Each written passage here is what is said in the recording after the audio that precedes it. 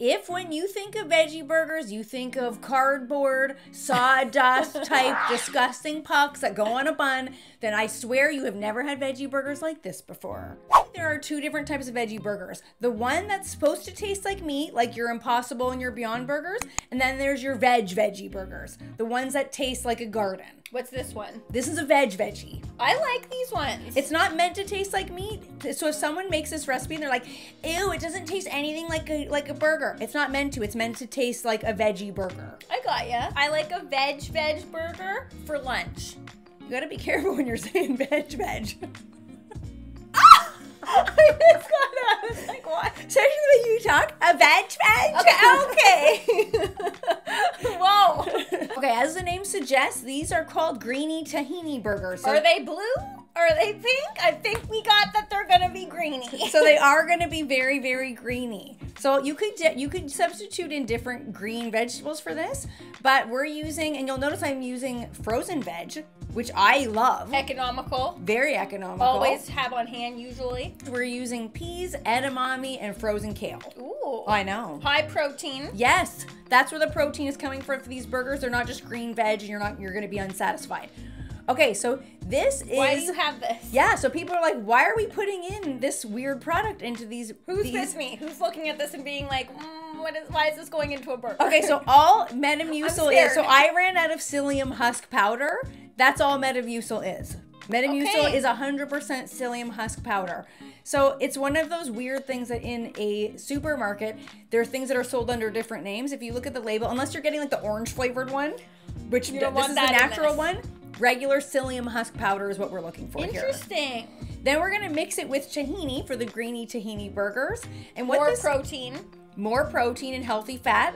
And what's this what this is going to do is combine to form a thick gel in replace of eggs for the burger. So this is what's going to hold our burger together. And like I said, if you don't have Metamucil, just look for psyllium husk powder online. I just wanted to show you that it's the exact same thing. And you can get Metamucil in most grocery stores. Exactly. So if you don't want to find Is it it online, cheaper? I It's like psyllium husk. I feel like that like sounds like yes, coin. I haven't price compared, but it very well could be cheaper. So if you're a smart consumer, why not just? And a lot of people have that on hand uh, in their homes anyway. Um, so just go ahead and use that. So for the vegetables, what I like to do is give them a quick blanch in some salted water ahead of time. And if you don't take this step, this is really what's gonna just cook them a tiny bit, but then give them that nice bright green color. I love that look. Yes. But they they even look bright there though too. But you don't want to do frozen like No. mixing in frozen. no. You just gotta just two minutes just to just to take the Oh, I thought it was two minutes. I thought that was Peace. yeah. that was two minutes. And then when they're done, I thought you were just feeling. I was just like greenie tahini. and then when they're done, you have to take the extra step and put them in an ice bath. I hate doing that Go because get it, brown. it uses up a bowl, but that's what's gonna retain that nice green mm-hmm. color. Look at that. Greenie tahini, baby. Yep.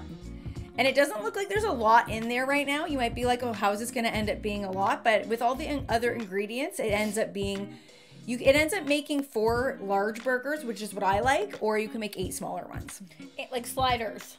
Yeah, sliders or thinner. Okay. It really depends on what you're looking for here. One of the things I love about using a food processor is you don't, it does all the chopping for you. So you're just getting it in there. You say I'm an infomercial. He's like, you don't even have to chop. But it's true. I don't know what I did before I had a food processor, especially for burgers. Totally for burger for for veg burgers like this, you're not gonna be making a beef burger in there, but No. for veg burgers like this, for sure. Yeah, so then we just add all the ingredients into the food processor. So we've got some capers here. Ooh. That's what's gonna give us a like an umami, a lot of layers of different flavor here. So that's gonna provide a little bit of a pickly edge. Then we've got some hot peppers that we're adding. This is nutritional yeast. You guys know I've been I've talked about nutritional yeast before. It adds like a savory, again, umami flavor. a lot of flavorful ingredients going in here and nutritious. So like Yes. that's not sometimes like different burgers can be lacking in nutrients. Like when it Mm-hmm. comes to like I'm talking about the veg burgers. Yes, of course. They're just like like I don't want to. They're eat, like rice. Sometimes like it's just like that's not nutritious. and I don't want to eat like peas on a bun. That's not nutritionally sound. So now we're adding in some quinoa flour. This is going to act as a binder, and quinoa is a complete protein. So again, another protein sor- source. And this is some arrowroot flour. So this is also a gluten-free recipe. So if you have someone coming to your house that is vegan and gluten free, I know that's sometimes tricky for people to think of what to make. Now, to me, these are seeming like I think you're missing a word on the title here. I feel like they could be called greenie tahini cheapy bergs, okay? Because these are rhyme. cheapies. These are cheapies. These are Mhm. totally like a lot of these ingredients. They're expensive to purchase initially, like the arrowroot flour and things like that. But if you make this yourself, like these are probably for like pennies each. Yes, absolutely. And like cheapies. they are that doesn't rhyme, but I'm I'm gonna. gonna give It it to slightly you. does. It slightly does. And then I just added in some green onion and some fresh parsley, some lemon zest. Again, when you're making a vegan burger, you have to add a lot Mm-hmm. of elements of flavor. Otherwise, it's not going to taste good. especially salt. Yes. People under salt all the time. The difference between home chefs and professional chefs, a lot of it comes down to salt. Mm-hmm. And that's why I added some salt and tamari. Tamari, again, going with the umami thing. So in the food processor, don't take it down to hummus territory. You don't want to blend it all the way down. You want to have some texture to these burgers. So if, if you if that's your thing and you're like I like them perfectly smooth, fine. But I like to just pulse it together, use the pulse function, and get it broken down. But still, you can see some chunks in there. Still. I agree with that. There's gonna be like some chew to it still. Yeah, some bits. You want to see some some bits. And right now, it's you might be thinking it's looking a little bit mushy. So if you're like. No, like, I'm thinking that looks like that's gonna hold together, and it looks like a perfect consistency. Okay, so- also color out of this world. greeny, baby. I love that color. Me too. Green makes my heart sing. Okay. So it right now it, they are a bit soft. If you are taking them and you're going to try to form that into a patty, it's too soft yet. You have to put them in the fridge and let them rest for a while. Let that psyllium husk do its job, and it's gonna Gel. It's gonna gel with all those other ingredients. It's gonna absorb the quinoa flour and the arrowroot flour, and it's gonna thicken and it's gonna harden up. It's like if you were to make cookies, and then sometimes a, a recipe will say you have to let it sit in the fridge for them to firm up. or Same thing. doughs, a lot of pie doughs. You're not just gonna just go at that. You gotta let it sit. Exactly. So 20 minutes later, we're we're into forming the patties. See, look at that. That's forming together perfectly. Yes, I'm impressed with that because when you first see peas, edamame, kale, you're like, how is that all gonna hold together?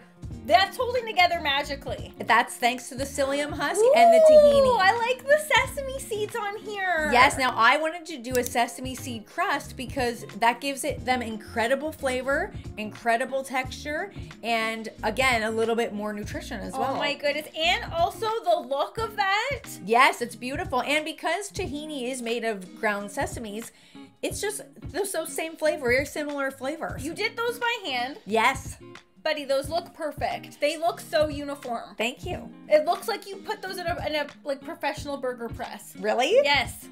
Thanks, honey.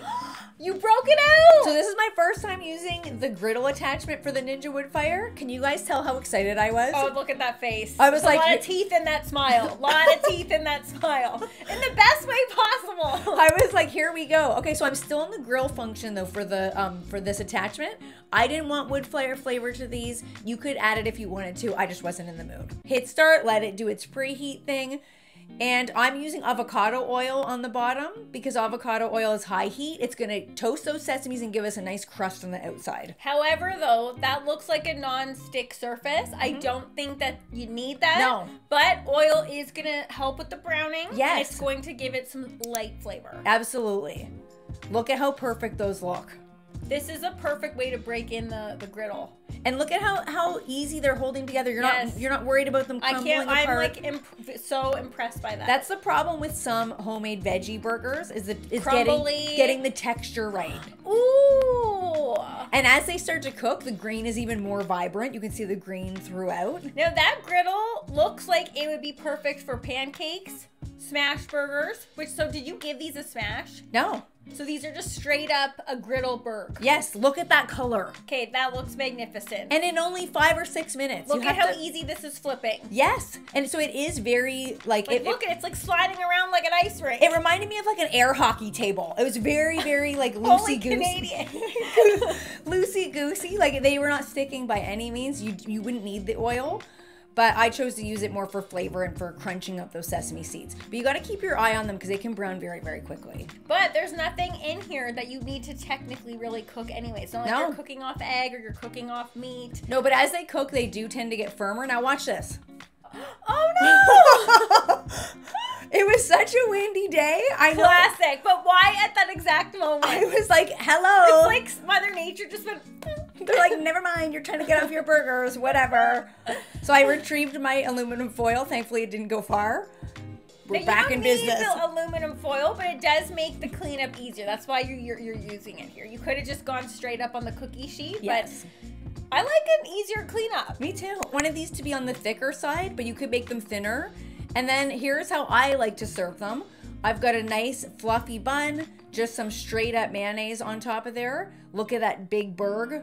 Fits the fits Ooh, the bun. some cuke on there. Some cuke. I want. This is just how Some I nice wanted to make crisp mine. cuke. Were those were those salted or anything? No. Just straight up, It's just some nice red onion. like the color. Yeah, and some broccoli sprouts because I had to. I happen to have them. More Do we have any mayonnaise, kind of sauce? On, oh, more mayo on the top. more mayo on the top. You could use a spicy mayo if you wanted to. That would be really good. But Ooh. Look at how beautiful that is. I had to cram this down. Did you Guy Fieri it? I went. Look, watch. Did you just? Oh, I went she- right in. Uh, Guy Fieri, watch out. Okay, she's coming for you. That was a big bite if I ever saw one. I had to. It was so good. Uh, oh yeah. The oh, smell yeah. of the smell of the sesame seeds and the texture of that burger was on point. You went heavy on the mayo there, and I'm into it. A, I had a good, to. A good bird needs a lot of mayo. Yes, absolutely. So, like I said, if you're in the mood for a burger that is on the side of tasting like it's like an imitation meat type of burger, don't make these because you're going to be disappointed. It doesn't taste like meat, and I'm not going to tell you it does. I have to make them for you. Hey, they were phenomenal. Yeah, you made four. and I ate Did all four. did you really? of course. Thanks. I had I had two on a bun. Then I had the other two. I think I had one in a wrap and one on a salad. Ooh. Multi-purpose. Loving it.